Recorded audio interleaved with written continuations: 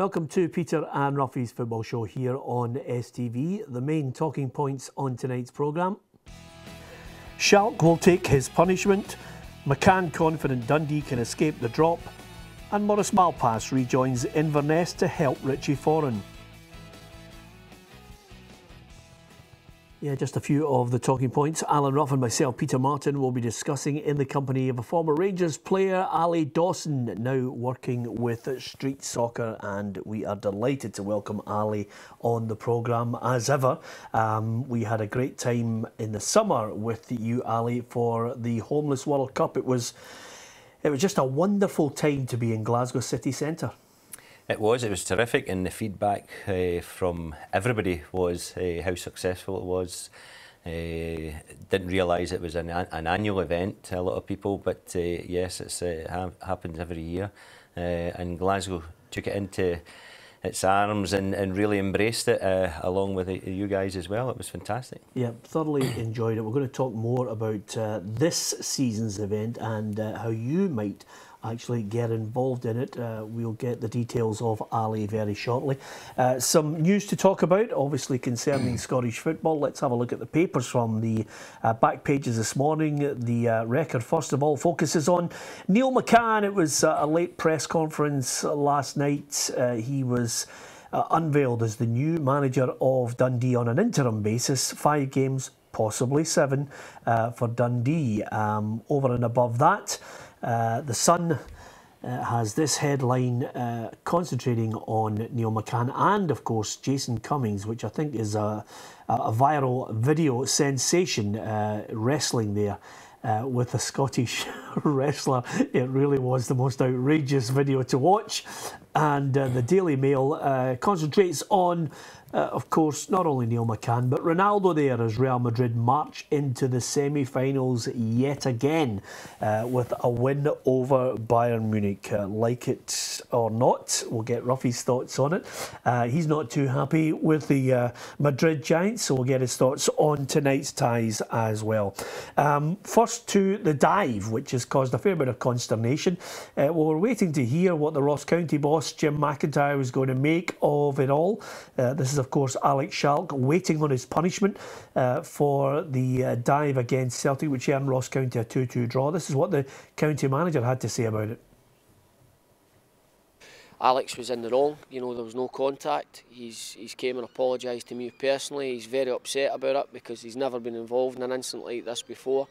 He's never been booked for uh, simulation before, so he's uh, he was quite distraught actually when he would viewed the footage back, and it doesn't look good. We as a club will take that punishment on the chin, and Alex is, and I have had a conversation, and, and he knows it's unacceptable and it won't happen again.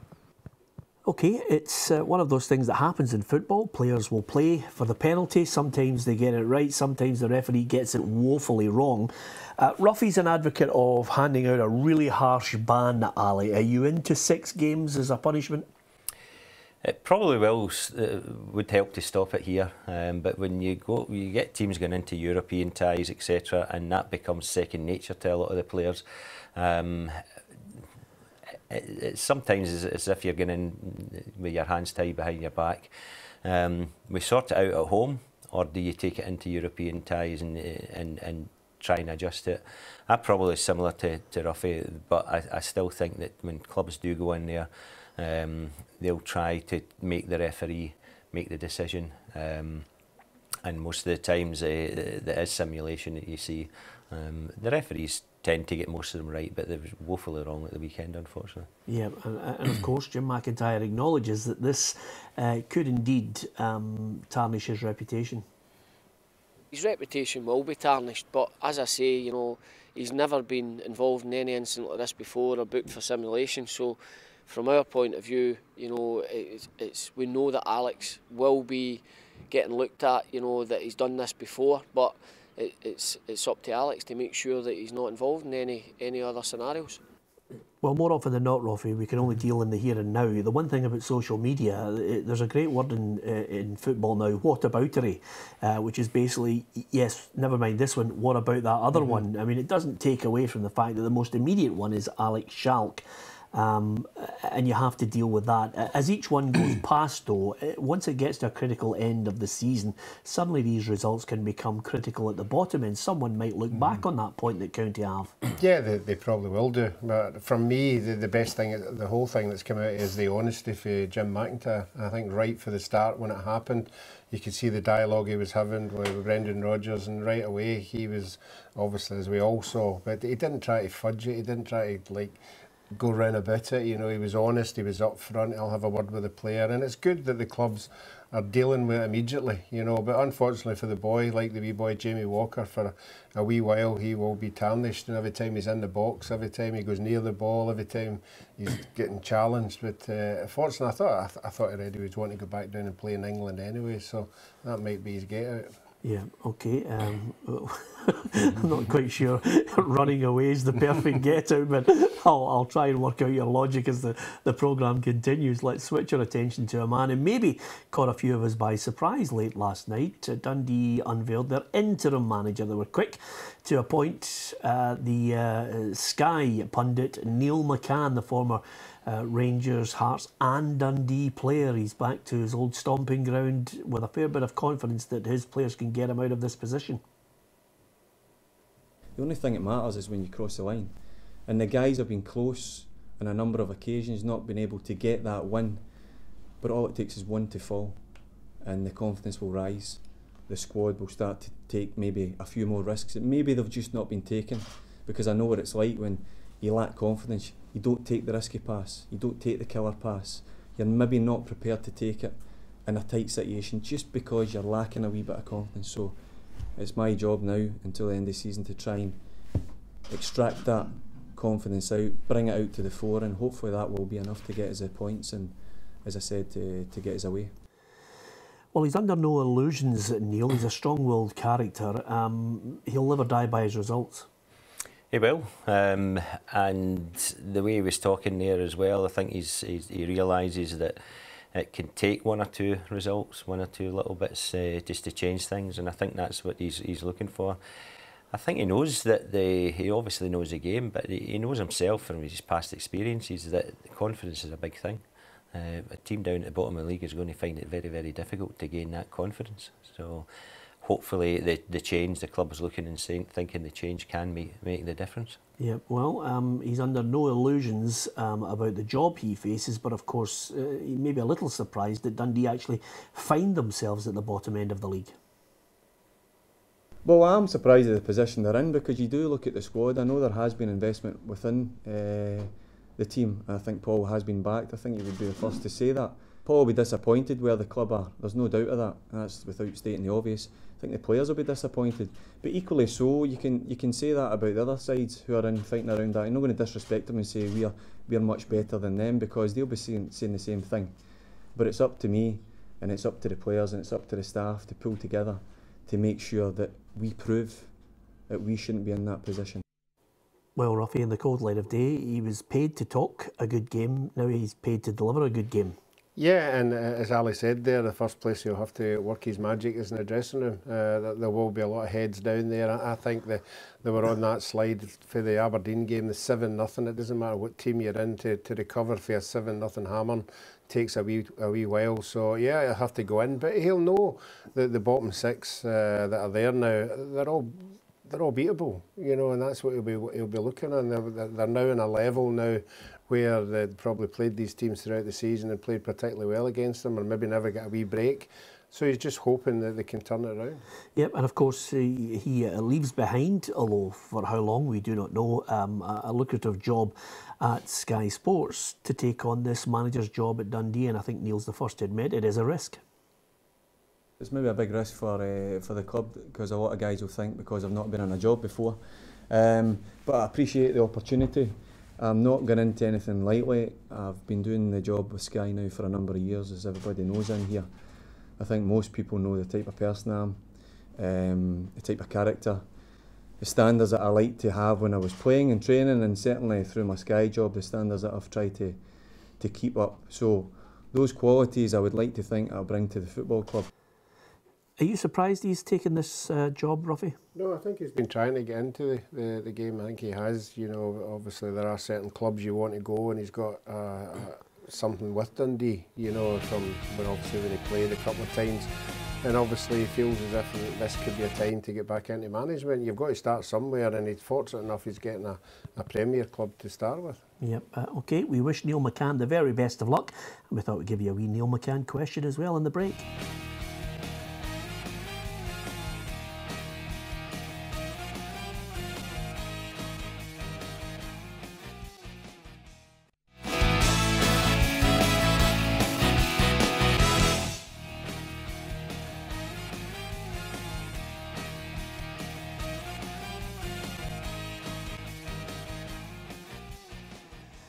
Yeah, there's Neil McCann, 1998. Did you remember that, Ruffy?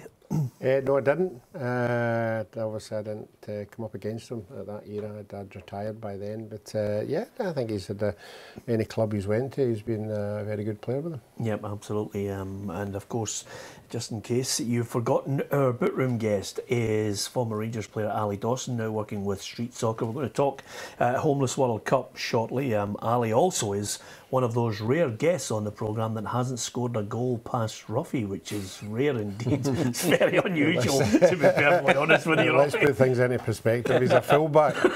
yeah, absolutely. But uh, nevertheless, um, just at the top of the programme, of course, we mentioned uh, the main news headline, which was uh, Alex Schalk and uh, Jim McIntyre talking about the dive uh, that earned Ross County a 2 2 draw. And um, no surprise, he's accepted his two game ban that was offered to him.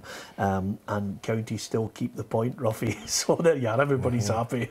Yeah, I'm sure when it gets to the end of the season, I think we're all hoping that it's not a point that's going to be, you know, send somebody down because uh, that we wouldn't want to remember that. Yeah, and what do you make of uh, Scott Brown, uh, Ruffy? Um, he has appealed against uh, the, the red cards shown to him uh, for the tackle on Liam Boyce, and I think uh, that means now that the the case will be heard on the 27th of April, so he's available mm-hmm. for the mm-hmm. semi-final. Is that a bit of uh, working the system? Yeah, I think it is. Uh, it is, and uh, if he gets off, fair enough. But if he doesn't, you know, and, uh, and found to be guilty, then I, I, feel again, I think he's he's wasting everybody's time if he's found guilty, and he probably will get an additional game. Yeah, uh, an additional game. Or two. Yeah, absolutely. Um, well, let's be blunt about it. I think he is working the system. It's a stonewall red card, Ruffy. Yeah, but I think even Brendan Rodgers came out after the game and, and, and said it was a bit rash and late and everything. But I think we all saw it. Uh, the referee was in a good position, so I would like to know what his defence is, you know, and obviously uh, in this day and age we don't really find that out. But uh, he'll go up there and uh, I think we all know that it's the reason is to play in the Rangers game.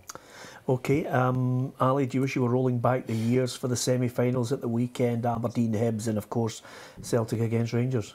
It would be nice. It would be very, very nice. But uh, I've had my time, and uh, uh, hopefully it'll be a it'll be a game remembered for what happens on the pitch in the right way. Um, hopefully the, the two games will be that as well. So, um, but you know, it's just. I've had my time. That's it. Yeah, a lot has changed um, between the last semi-final. Rangers and Celtic uh, came together. That was, of course, uh, when Ronnie Deila was the Celtic manager, -hmm. and of course Mark Warburton was able to celebrate eventually a penalty shootout win. How do you see the two sides shaping up this time? Um, shaping up, probably both teams are are going in with a bit of confidence. Uh, Rangers have obviously uh, more recently changed manager and uh, getting results and playing reasonably well, changes things a little bit differently as well and probably more direct, um, but still a little bit suspect at the back and uh, more likely to worry about that uh, when they come up against a team like Celtic. And Celtic will look at it and maybe with a little bit in their mind that it's a semi-final and and uh, they, they, they didn't win the last one. So Rangers will uh, go in hopefully with a bit of confidence and uh, Celtic will be just have that little bit of wariness that anything can happen in a one-off game. Yeah, you've lifted the Scottish Cup as a captain. How important do you think Scott Brown is to Celtic and in, in their bid to try and snatch the treble? I think having uh, looked at the situation, I think it's, it's vitally important. Um, he is the, the manager will have looked at the situation as well, and both would have just come to the decision if we if we look at this and appeal it. Um, at the end of the day, you'll be able to play, and you just need to accept what's going to happen afterwards. Yeah. Um, so I think they've looked at it and said, vitally important. Yeah, okay. Um, Ruffy, yesterday Alex McLeish mentioned the fact that all the pressure is on Rangers. Today, Alan Stubbs says all the pressure in the other match is on Aberdeen.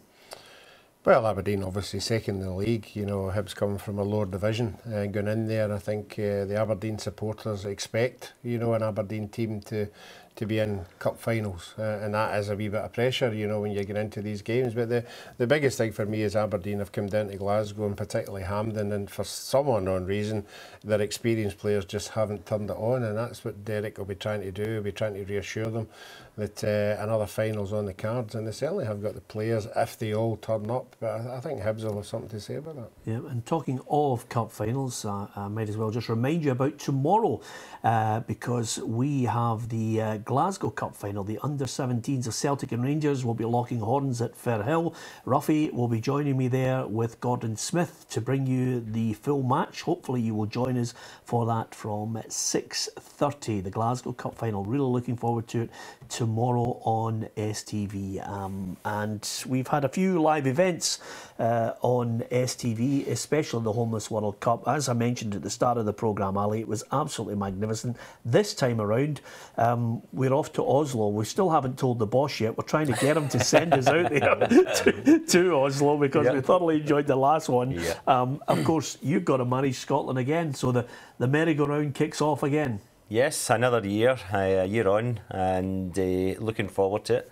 We've uh, in the middle of our uh, start of the process of selecting a team. We've had one or two trials, and we're looking to try to uh, get the as many players from all over Scotland, um, making awareness of uh, to different organisations, individuals to see uh, where we can find one or two players, and hopefully we can get a, a good team uh, similar to last year and, and, and uh, really show that, that they given the opportunity it's a way of kick-starting their life again if they're selected. Yeah, uh, that was one of the the abiding memories for me. The the amount of players that we were interviewing from any country. Um, you know, the football was lovely. It was great to see them and get involved in the sport, and the, the people of uh, Glasgow and beyond all supporting the event. But there were stories to tell. Some of them harrowing stories, but hopefully at the end of it, a, an uplifting one. Yes, and uh, when you you'll know more than, than than most people that, when you're sat down and they're, you're asking somebody to tell what's happened in their life, and and sometimes it, might be the first or second time of actually telling it the, their life story. It's very very difficult, but um, to hear some of them um, and to for them to be at least uh, showcasing a little bit of uh, the positive side of their life. It is very very important. I think um, we've had a number of players coming through our, our uh, the team itself and we work with uh, with street soccer and it's it's it's, it's harrowing. It really is. It's it's, it's uh, when you hear and think about it in this day and age that they're they might not be have a bed to actually sleep in and, and you walk through Glasgow as well. You, you see it more and more. It's very very depressing at times. Um, but when you get a little bit of a lift and you see the, the change in some of the, the, the boys and girls uh, that take part in the Homeless World Cup, um, for that eight days, this is their highlight, and we want to make it as as as you know as bright and as uh, supporting every every aspect of it as as we can. What's the criteria for you as a Scotland manager for selecting players? Um, First of all, enjoyment of football. Um, you know, it's not just all about being the best players that we can select from. We want to try to bring the, the, the, the people that, that will work together and work as a team and work hard together. Um, there's no use one or two thinking that it's, it's just they're, they're there for a, a trip abroad or whatever. Um, we have to really select players that, that want to work hard and and look at the next stages in their life. Um, some might not be at the point of, that they want to make the change or are able to make the change.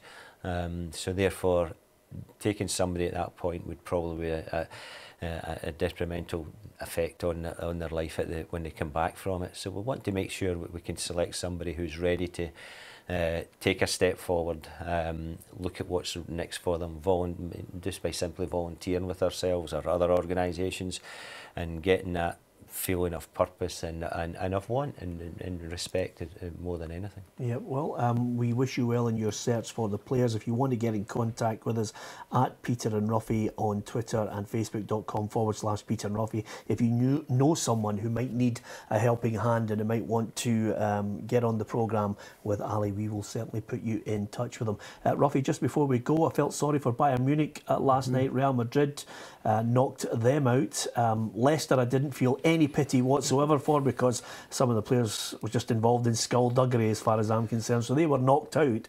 Um, can Barcelona pull off the miracle? Uh, as I said already, it depends on the officials. You know how strong the officials are in this game. I'm still not over the last one, but uh, I think if you were trying to regroup against a, a Juve strong defence, excellent goalkeeper, not for me. Okay then, um, as you can imagine, I'm going to text Ruffy throughout uh, the game just in case Barcelona do indeed uh, pull off that great miracle. Um, great to have Ally Dawson, the former Rangers player, with us talking street soccer. We'll put you in touch if you need to contact him. From Ally, from Ruffy and myself, good night.